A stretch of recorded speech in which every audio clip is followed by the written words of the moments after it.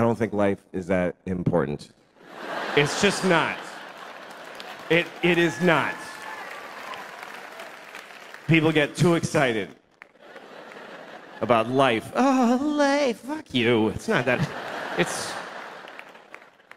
Make a list of every shitty thing ever that's in life. Life is okay. I like life. I like it. I don't need it. I'd be fine without it. I like life, though. I do. You know how much I like life? I have never killed myself. That's how much I like it. That's exactly how much I like it, with a razor thin margin. I like it precisely enough to not kill myself. It's an option, though. It's totally an option. I mean, I'm 49. I have two kids. I've flipped through the brochure a few times. I've thought of killing myself just to win an argument. You're not supposed to talk about suicide, even to your shrink. You ever go to a shrink and they're like, Have you had thoughts of suicide? And you're like, No, because if I say yes, you'll press a button and folks will run in and hold me, hold them down. But you should be able to talk about it. It's the whole, it's what the, it, the whole world is just made of people who didn't kill themselves today. That's who's here. Is all of us that went, okay, I'll fucking keep doing it. It's because it's an, it's an interesting thing about life. Life can get very difficult, very sad, very upsetting, but you don't have to do it. You really don't have to do it. You don't have to do anything. You never have to do anything because you can kill yourself. If they send you a letter from motor vehicles, you have to come in and, no, I don't, I'll kill myself. You can do that. You can do that once, but you can do it.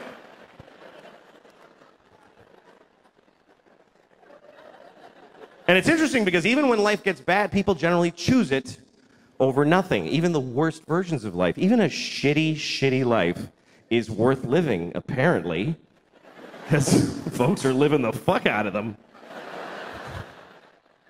You ever seen somebody you're like, how did he he should kill himself? Why didn't he not? That dude. You ever been driving and you look in the next car and you're like, oh shit. I wish I hadn't looked in that car. That was difficult to glance at, let alone being it. Just a guy in a, in a tan car. Nobody chooses tan. Nobody picks tan for their car. They give you tan.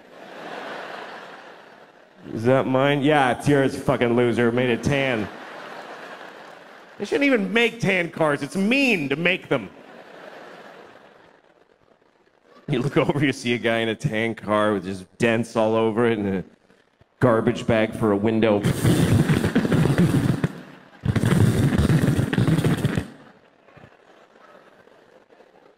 What is holding up his suicide? What is delaying it? What is keeping him from stopping being that? And what would it take? What would it take? What would it take? Both windows are garbage bags? Is that.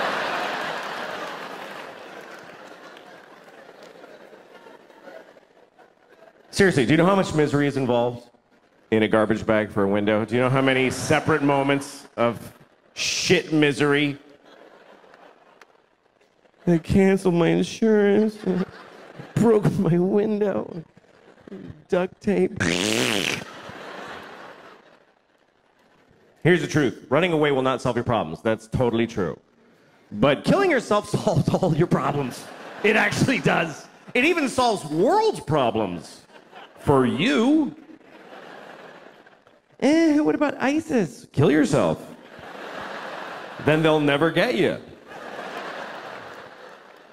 Seriously, if everybody who's afraid of ISIS kills themselves right now, then ISIS loses. Because they live in a world of people that don't give a shit.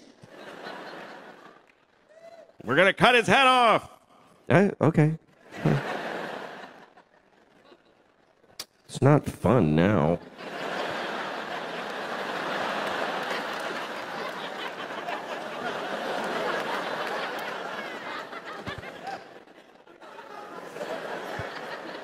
I think the worst part of being beheaded it